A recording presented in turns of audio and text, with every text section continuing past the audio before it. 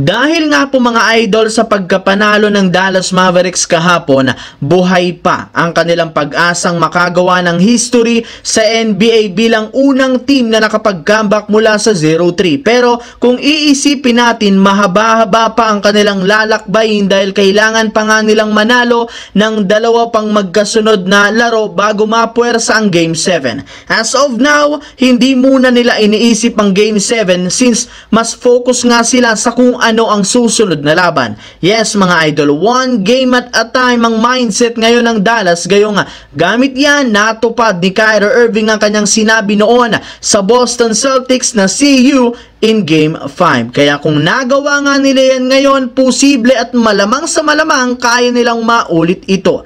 Samantala, nagkaroon nga sana mga idol ang Boston Celtics kahapon ng pagkakataon na tapusin ang serye sa Game 4 at uwalisin ng Dallas Mavericks. Ngunit, Nagulat nga sila dito matapos silang maagang matambakan at matalo dahil sa napakainit na shooting ng Dallas Mavericks. At sa kamalasang palad, sinabayan rin ito ng pag-struggle ni na Jason Tatum at Jalen Brown. Yes, mga idol, bukod sa scoring na out-rebounded pa nga sila ng Mavericks sa ilalim na siyang isa sa mga rason ng kanilang pagkatalo. Hindi rin naman nga naiwasan pa ng mga fans ng Boston Celtics na magreklamo lalo kay crew chief Scott Foster. Simula lamang nga po nang i-anunsyo na ito sa isa sa mga mag-officiate ng kanilang laban kahapon Ramdam na nga nila na matatalo ang Boston Celtics gayong kilala rin naman ito bilang series extender dahil sa mga tawag nito na papabor sa mga dihadong kupunan. Pero kahit man nagreklamo ang mga fans ng Celtics,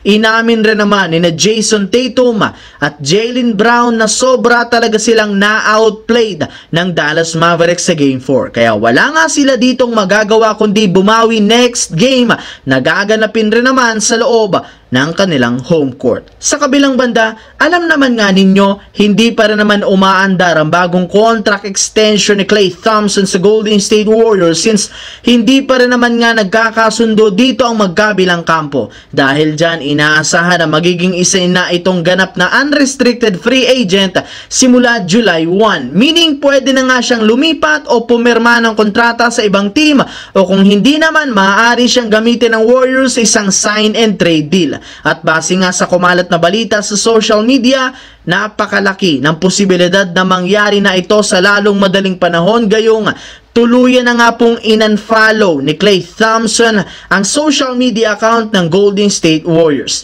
Tinanggal na rin naman nga niya dito ang ilang mga post at litrato niya patungkol sa kanyang team. Kaya dahil nga sa nangyari, nabuhay at umingay na naman ang trade ni Clay Thompson papunta sa Los Angeles Lakers lalo pat sinabi na nga nito noon na kung aalis siya sa Golden State Warriors ay ang Los Angeles Lakers ang unang team na kanyang sunod na pupuntahan lalo pat gusto nga niyang maglaro sa dating kupunan ng kanyang ama na si Michael Thompson. Alam na rin naman ninyo matagal na nga talagang gusto ni Clay Thompson na maglaro sa kanyang hometown team at maaari nga yung mangyari sa off season. Ibig sabihin malaki ang tsansang maisakatuparan ng Lakers ang Big 3 na matagal na nilang gustong buuhin sa pagkuha nila kay Clay para itandem kina Anthony Davis at LeBron James. Ang videong ito ay hatid sa inyo ng 1xBet. Suportahan at manalo sa inyong paboritong kupunan, maaaring makakuha up to 12,000 cash bonus sa inyong first deposit gamit ang aking promo code. Pag tama prediction mo, panalo ka. Pindutin lamang ang link sa comment section at mag-register gamit ang inyong GCash account para makapag-cash in